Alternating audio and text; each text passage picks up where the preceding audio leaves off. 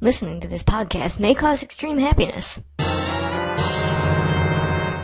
Hello again to all my wonderful listeners. Yes, all two to three of you. This is the SPCC Distance Learning Cool Tool of the Week. My name is Jason Thomas. Today we're moving on to the third part of our four part series in the video creation for education.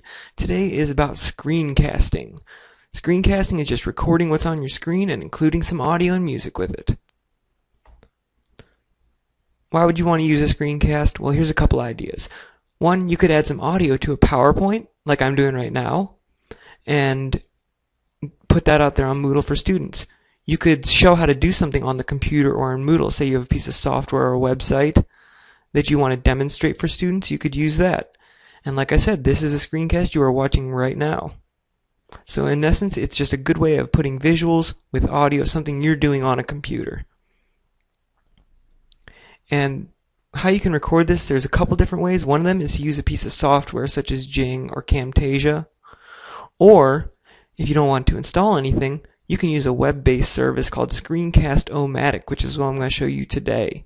And when you use Screencast-O-Matic, you can save that file to your computer, or you can even automatically upload it into YouTube. So the benefits of the screencasting is that you can create the screencast with any computer with internet. You don't need to install software, and you got those options I talked about before with YouTube and with saving to your computer or a flash drive. So without further ado, here is Screencast-O-Matic. So what I'm going to do is first go to the Screencast-O-Matic site. It's www.screencast-o-matic.com. Funny name for a great site. And it takes you right here, which is their Screencast-O-Matic website. So all you're doing is you're going to record what's on your screen. And for this demonstration, I'm just going to record my Internet Explorer window. So to get started, you click Start Recording. It'll take you to a website. It may ask you to install a plugin or ask you to do something. If it asks you, just click Sure.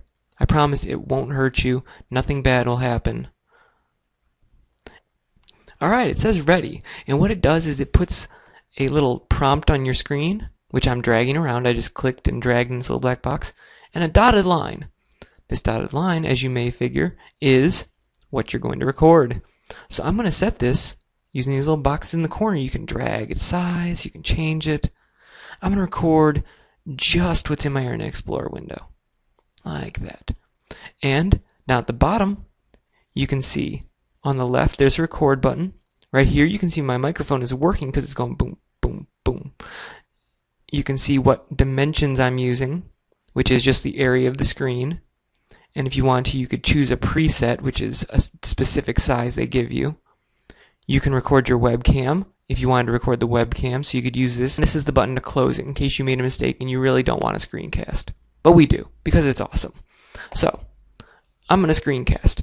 So what I do is I'm going to set myself up. I'm going to screencast how to get to the distance learning site.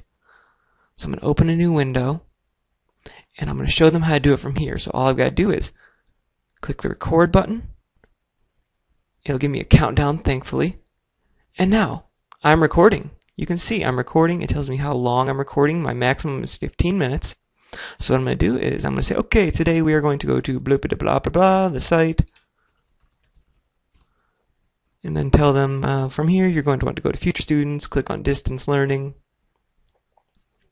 And from here you'll see the distance learning site, which is home of such awesome, awesome people as Jason Thomas and a bunch of other really cool people. So, I'm done. I can hit pause if I need to take a break. So right now I wouldn't be recording, but say I need to get a drink of water, I needed to cough, and I didn't want to be my screencast, I could use pa- pause. And then I'm like, okay, I'm done click this again and I can start recording, but I'm going to say I'm done. So you click done. And what it'll do is if I go back to the screencast site, it shows me a preview of what I recorded and gives me all these options. I can upload it to the Screencast-O-Matic site, which is their hosting site. I can put it on YouTube via YouTube Superstar, get a bunch of million hits. Or I can click export movie, which is saving it to my hard drive. So if I click that, it asks me what format I want to use. I'd suggest one of the first two. And then click export. It'll process it and then it'll give you a save, and I'm going to say my video save. And that's it. I'm not going to bore you with the exporting, but you'll see it goes pretty quickly. And when you're done, you'll have a computer file. There it is. It's done. It's right here on my desktop, and I can play it with Windows Media Player. Brilliant! That's it. Thank you so much for watching. So, as you all probably know, my name is Jason Thomas. This has been the SPCC Cool Tools podcast.